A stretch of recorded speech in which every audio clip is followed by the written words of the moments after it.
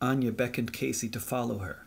He ambled after her lithe little black clad frame, lugging his stuff to the front door of the squat. There were several people involved with the process of unlocking the door in various places to let the two in. Unlike most days, when it's unlocked and unguarded, Casey observed. He and Anya walked inside, and she took him to a band practice room on the third floor. You can leave your things here. If you end up spending the night, there are mattresses. Do you have time to fill me in on what's going on? Casey asked, trying to sound like he just needed a little filling in rather than a complete introduction to the situation. Time?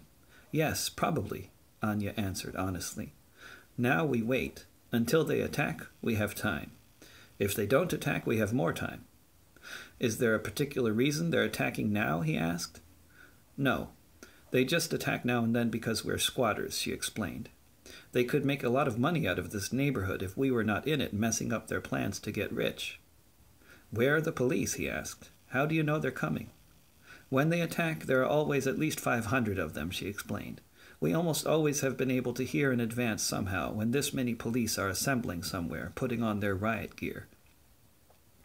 But you say maybe they won't attack. Yes, she replied. Sometimes they just want to see if we know they are planning an attack. When they see we have prepared defenses, they cancel their plans. Then, changing the subject, she asked, Shall we go downstairs?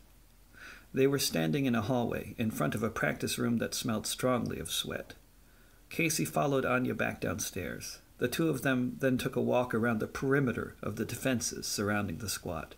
Each barricade, Casey noted, smelled strongly of petrol. Casey thought about asking if anyone had ever been killed in one of these battles, but he wasn't sure he wanted to know the answer. He was scared, but found the whole situation electrifying as well. He didn't know about their tactics, but he knew he liked these squatters, and how their very presence in a city seemed to have a way of throwing into question the whole idea of property ownership. He wasn't sure what he was getting into, but he had to find out. The atmosphere in the dead German cafe felt a bit like an emergency ward before the wounded people come in. There were first aid kits of various kinds around, and people with gear on that indicated they had some idea of what to do with the contents of those kits. The cafe wasn't serving food as such, or beer, but there was a massive bag full of bread rolls, which were being consumed along with various tubes of mushroom pate and lots of coffee. Soon dusk turned to the closest thing approaching real darkness that Northern Europe had to offer this time of year. The tension in the atmosphere ratcheted up a bit. A flare rose up into the sky, launched from somewhere nearby. It arced at least a hundred feet up and then began turning back down to earth, burning bright red the whole time, lighting up the streets beneath it.